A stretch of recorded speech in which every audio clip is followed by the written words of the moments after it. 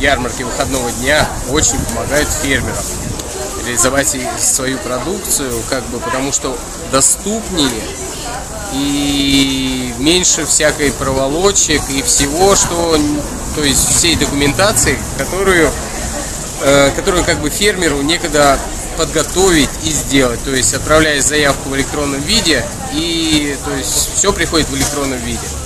Это намного проще и лучше, чем на какой-то рынок ехать, предоставлять какие-то документы и прочее, прочее, прочее. А вот здесь проверяет документы, то есть Роспотребнадзор, санэпидемстанции, а то есть все на месте это делается. Приезжаешь, раскладываешься, товар, то есть начинаешь торговать и тебе подходят люди, проверяют документы на землю, на все. То есть это намного проще, чем договариваться с рынком, сначала вести эти документы, попадешь ты, не попадешь на это место на рынке. В ярмарке выходного дня, то есть на сто процентов проще, чем любое другое, то есть торговать.